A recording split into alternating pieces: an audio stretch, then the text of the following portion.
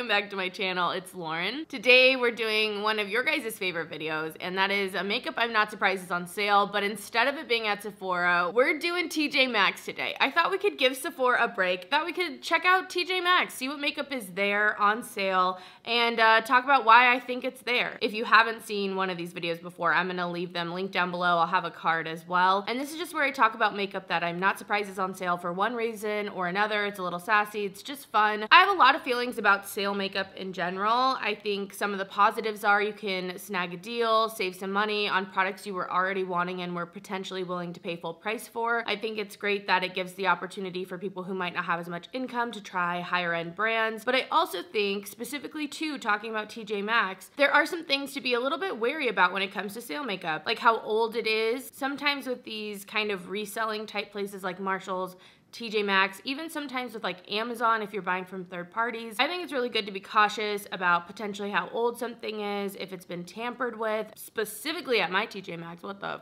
Mm. I've seen these pristine TJ Maxxes where people go in and like they have the newest products and it's like so clean and like you're you're wondering if this is like makeup sale heaven because of how nice everything looks. You're like, that's there? Oh my gosh, NARS? Oh my gosh, this? Okay, my TJ Maxx is effed up, okay? and it could be the fact that it's the holidays. There were a lot of people and it was like a Tuesday night, but everything was like destroyed, okay? As I go through the products, I will show you the pictures, but holy crap, everything was just so effed up looking. It's like none of this looks appetizing at all. I'm like not surprised any of this shit is here. It really is like finding a diamond in the rough if you can find something that doesn't look like it's been opened and isn't like seven years old. Like seriously, Really what I'm trying to say is I'm just jealous that I don't have a TJ Maxx that's like beautiful. Okay, anyway, let's get into the products that I'm not surprised are on sale. These were all in the store and I'm not surprised. I'm not surprised. So first off for my products, I have the First Aid Beauty Kona Eye Stick. This originally retailed for $24. It was on sale at the store at 8 I believe this item was also on like clearance, so it's like extra, extra discounted. And the reason I'm not surprised it's on sale is because I actually had this item once. I got it as PR through Octoly a long time ago and I was really excited about it. I think the idea of a stick kind of eye moisturizer is really fast and easy. I like that kind of like girl on the go.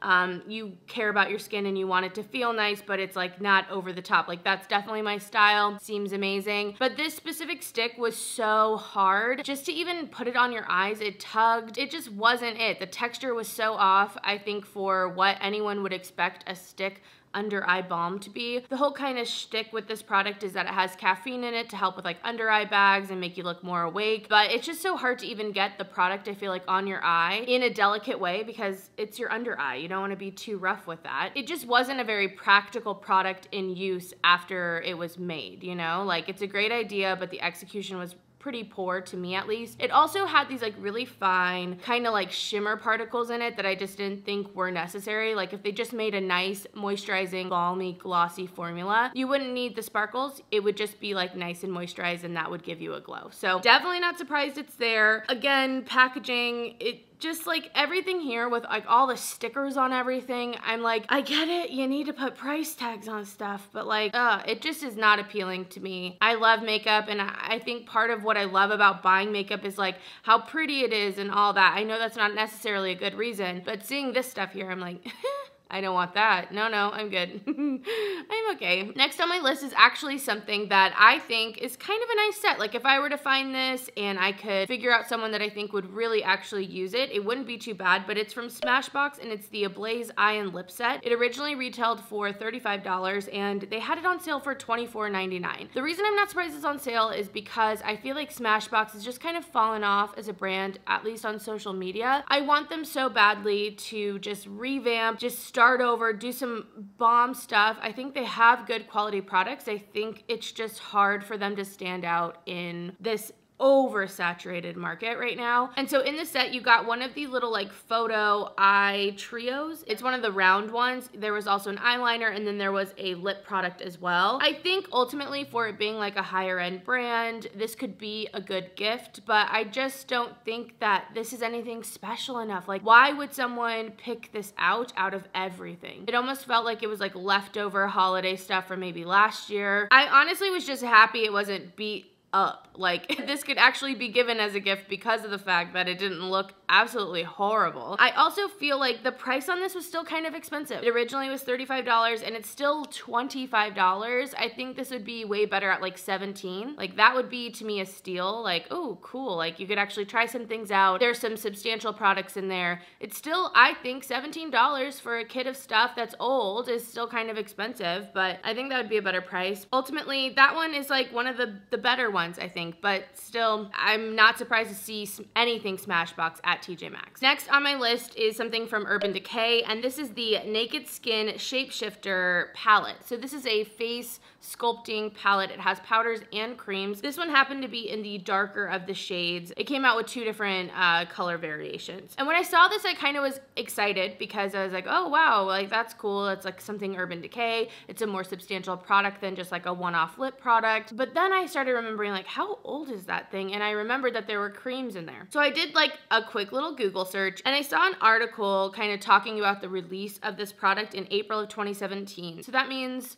what we're in almost 2020 now. Um, it's kind of old. It's kind of an old product, so I'm not surprised to see it there. When I really sit down and, and see the timeline of when things have come out and it's not all jumbled together in my brain, I'm like, oh wow, that's kind of old. And I know products, as long as they haven't been like opened and used, you know, they have a shelf life. There are preservatives in these things to help them stay stable and last for a while. But I do think that, you know, it's getting there, right? It's it's getting there. It's coming up on three years, and then you would still hopefully have that product for however long. So not surprised it's there. And that's one of the things that I think it's like, it's just good to have knowledge so you can make the best decision that you want to make. This originally retailed for $45 and at the store it was at $19.99. Another reason I'm not surprised this is on sale um, or really any type of contouring products like this. As much as I think that people still contour and people still like bronze and want to sculpt the face, I definitely don't think it's as big of a craze and trend as it was. I mean, I remember when everyone had the Anastasia Anastasia contour kit and no one uses that now. No one really talks about that now. Just contouring isn't as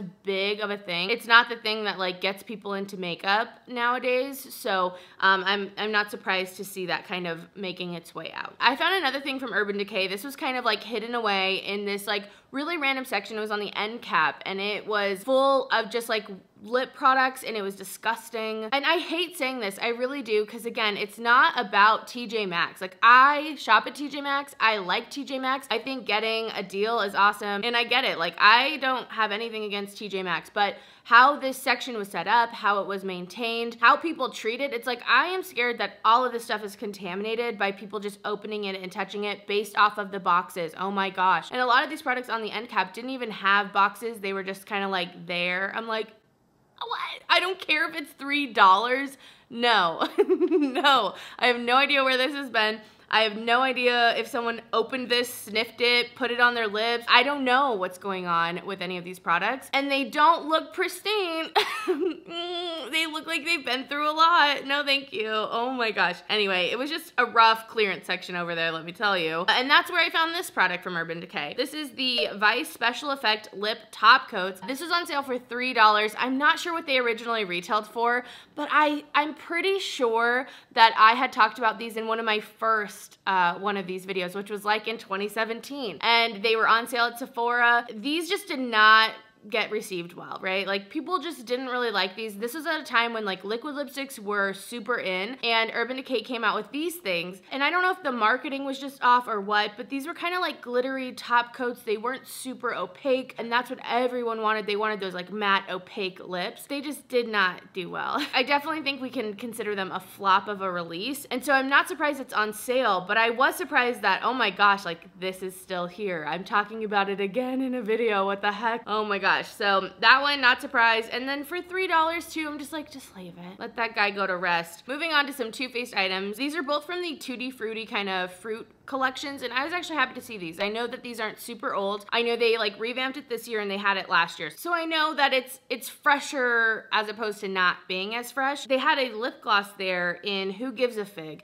The reason I'm not surprised it's on sale is because of the color. This is the deepest color that they came out with in this lip gloss. And I just think for a lot of people, uh, these deeper lip glosses are not very practical. I think one of the amazing things about a lip gloss is it's just easy, right? You just like slap it on. And something in this color, it just doesn't look natural and it also has the tendency to go patchy. I just feel like it's more work. It's a more fussy lip product in a way that you wouldn't traditionally think a lip gloss would be. So it's one of those ones that you're like, oh, that's a cool, oh, yeah, I get it. The shade, no one wants the shade. Or less people want the shade, right? And these are also quite sparkly lip glosses, which I think are definitely making comeback, just lip gloss in general is. But that one specifically, I'm not surprised is there. And then the other thing from the Tutti Frutti collection was a Twinkle Twinkle liquid eyeshadow in Citrus Mistress.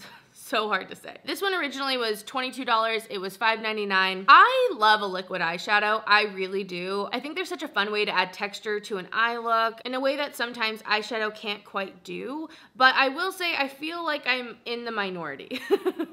I feel like I'm in the minority when it comes to liquid shadows. I know the Stila Glitter and Glows were really, really popular, but really anything other than that hasn't been. I believe ColourPop has discontinued the liquid shadows that they used to carry. It was just a kind of this flash in the pan moment in the community, which makes me a little sad in my heart. But I kind of get it. I mean, sometimes they can be hard to work with. Sometimes, you know, formulas are different. So I'm not surprised this one is there. And I also feel like when I looked at swatches of this, it kind of seemed a little patchy. Like with the initial launch of the Twinkle Twinkle shadows, these are ones that have like plastic glitters in them and a colored base. And this one's kind of like this orangey, warm, golden color, which is a decent color. You know, it's not like it was blue. but I do remember seeing them be a little bit more patchy and I think for anyone who is maybe wanting to try these because they're like the Stila ones, they just don't even give off the same look in the promo picture. So I wasn't surprised to see that one on sale. All right, next on the list, this is from Laura Geller. It's the Lash Boss Max Mascara. Okay, it's a lot. I had never seen this product before. It wasn't like I'd seen this release and, and heard bad reviews. That's not why I put this on this list. I put this on this list because my God, this mascara looks intimidating as hell. Look at it. It looks like a sex toy, like a microbe. I don't know. It looks so scary. I felt like this was one of the more clean packages in the store. Didn't look like it had been tampered with. It didn't look like people had like trampled it. It looked pretty clean. Um, and the price was pretty decent as well. I think it was like $4.99 for this mascara and I know it had to have probably been in the $20 realm initially. But I think this is just an example of like mascaras that are just trying to grab your attention, right? Like they'll do anything. They'll make the most insane brush. This has like a crazy pink tip, which you wouldn't even notice that, right? If you're using it because it's gonna be covered in the black mascara. But it has that kind of like spiky tip and then it also has a curved brush. Like it, it's just one of those kind of gimmicky ones. And I find a lot of the time, I just need a nice wand, right? Like like, we don't need to get crazy. We don't need to do the gimmicks. Just like make my lashes look as best they can and we're good, guys. We're good. I don't need the Lash Boss Max Mascara to do that. It just it looks intimidating. I think that's why it's on sale. And it kind of seems a little bit out of character for Laura Geller. Like it seems a little bit young and I'm not that Laura Geller can't be young. I like a lot of their products, but something about it seems a little off their normal branding to me. Next on my list is a product from Pixi. I was kind of excited to see a Pixi product at TJ Maxx and this was the Dulce Candy Lip Palette. It originally retailed for $24 and it was on sale for $8.99. And the reason this is on sale is because no one uses lip palettes. Like seriously, no normal consumer uses lip palettes. No, no, no, no. Lip palettes really aren't easy to use for everyday wear and I don't think that they're necessary if you're one person. You don't have to worry about being sanitary. If you really wanted to mix stuff, you could just like scrape a little off this lipstick, scrape a little bit off that lipstick, mix them together and while voila, you got a you got a new color. To me, lip palettes are just such a pro item. It just makes sense if you are putting lipstick on multiple people that you wouldn't apply it from the tube necessarily, which you can sanitize, but it's just an easy pro item. You can mix up custom colors. That makes sense. That makes total sense. But for the average everyday person, it's too much work. It's not easy. There's something so quick and easy about putting a little bullet lipstick on and going about your day You can't put this in your purse. How are you going to touch up? Like, there's absolutely no mystery as to why this is on sale. Next on my list, this is from Stila, and this is one of the glitter and glows, but this is from that Mystere collection, and I think this just was not received very well. I don't know why, because honestly, the more I look at this launch, like, I don't think I was that into it then, but the more I look at it, I'm like, ah, I, I like it. These eyeshadows had a bit of a gimmick. It was like iridescent swirls mixed into the glitter and glow formula, like, and so it was supposed to be like color changing as you used it and whatnot. I think the glitter and glows still have like a cult following, uh, like the original normal line, but these ones just did not hit it out of the park. I don't think people were ready for this like fantasy, the Cirque du Soleil fantasy of this, and so they uh, they were discontinued. And so I'm not surprised to see them at TJ Maxx because of that. But my God, I would be so scared to use this. This was not in a box. I just know someone opened it, right? Because it's something about it is a little bit intriguing. It's like kind of glittery, like what is is this product. I would not buy it. I would not buy that. If you see that, don't get it. Please don't get it. And that was on sale for $7. It's still like, even at a dollar, no, don't put that on your eye. Okay, next. This is from Bare Minerals, and this was a like single eyeshadow is what I thought it was, but when I got home, because it was in the shade Sunkissed, I thought I would just Google and see like, what is this thing? I think it's a mini blush, so this probably came in a set at some point, but whether it was like removed from the set at TJ Maxx or somehow was shipped to TJ Maxx as its own individual product, even though it's not. I don't know what's going on, but this retails for $4.99 and I have no idea how much it retailed beforehand. But I'm not surprised this is here. This looks exactly like the stuff I expect to see at TJ Maxx, honestly. Like it's just kind of a loose product. It just looks so bad though. Like it could be so much better. And again, I know there are TJ Maxx that do it better. So what's going on? Why am I the one that gets the loose blush mini from a set that who knows how long ago that was made? Ah, and then the sticker's just like on it. It was, oh man, I was like, yep, not surprised. No, no, not surprised. I only have two more products to talk about. And the next one is from Glam Glow. And this is the Glow Powder like highlighter palette. This originally retailed for $42. I remember being really excited about this palette because it was something other than skincare and Glam Glow is known for the skincare and the masks that they do. And this thing at the store was beat up. I mean, it was like opened and the thing is I did not like open up the products any more than they potentially could be. I kind of wanted to like open them and see if things had been touched but I also felt like I would be perpetuating the problem and, and a part of the problem if I were to like take things out of packages and do that. I just didn't want to be a part of the problem, you know? So I didn't open up to see if it had actually been touched but my god I would not be surprised because this thing looked pretty beat up. It looked pretty bad. This was on sale for $20 in the store and I'm not surprised it's on sale because because one, it's a little bit off brand for Glam Glow. I know that some people were using it when it came out.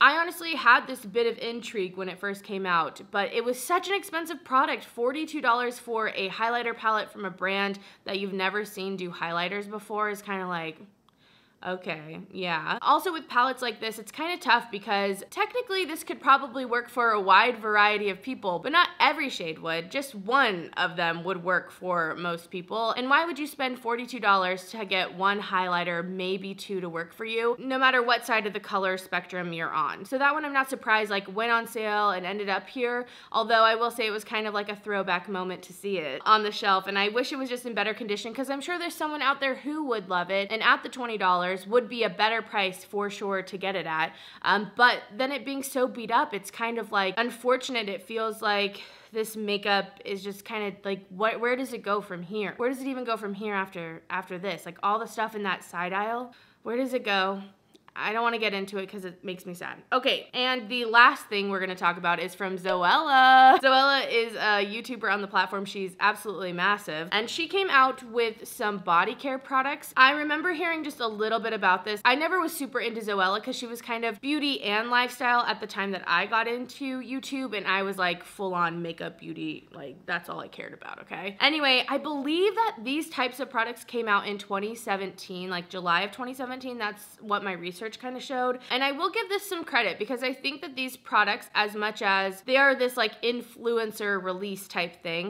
uh, I thought the packaging looked great. And I do think that out of everything I'm talking about in this video, they were the best condition. They were definitely in the best condition. I also thought the price was pretty decent. The two like body type products that I was looking at were $4 a piece. I felt like you could easily remove the sticker if you wanted to. And I also think, at least in my experience with like body products, since I'm not like putting putting them like right by my eyes or mouth or anything. Um, I don't know. The body products that I've had tend to last a pretty long time. And if these haven't been opened, I think that you could definitely use them up in a time period where they'd still be good, even though they came out in 2017. Holy shit. I know that was a lot. But all those good things aside, the reason I'm not surprised these are on sale is because this is an influencer collab. And I think one of the things that I've noticed with um, any influencer who either comes out with their own products or does a collab of some sort, there's a lot of hype in those things at the moment, at release. But then I feel like things kind of go crickets. Like if they don't bring that up on their channel again, it's kind of gonna die out, I feel like. And I think this point kind of brings me to like a bigger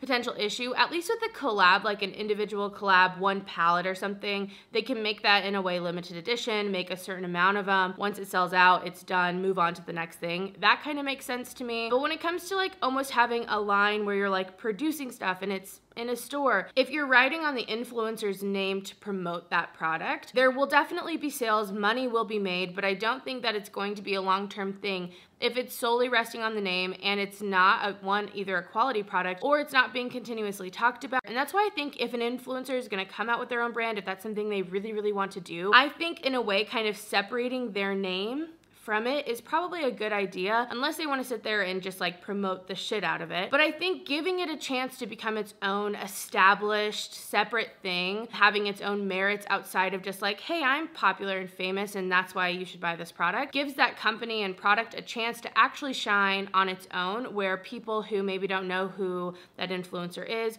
or just genuinely want to repurchase it because they liked it and it was better than other things they've used in one way or another. I think that's one of the best ways to actually have like long long-term success where it's not going to be like a hey let's release this we'll get as much money as possible and then whatever doesn't sell it's fine because we're going to make a ton of money. And if that's what someone wants or she wanted i'm not even necessarily talking about zoella at this point it's kind of just an example for like a bigger conversation then that's fine i guess that's is what it is but i think that if an influencer really wants to like have a line and, and legitimize it and they have these connections and they have this money to start that up i think that can be really really awesome. I do think though that there are ways that you have to kind of legitimize it and it might seem almost counterproductive because you'd want to like attach your name and do all this stuff but i think sometimes that can like cheapen the brand and make it more of a short term thing and if you want it long term i think it's better to go kind of the harder path and really focus in on those products. But anyway that is the video. I really hope you enjoyed this kind of twist on my makeup I'm Not Surprised is on sale. It was kind of fun to go in store and just do something a little bit different instead of just scouring Sephora's sale page because we all know that doesn't change a ton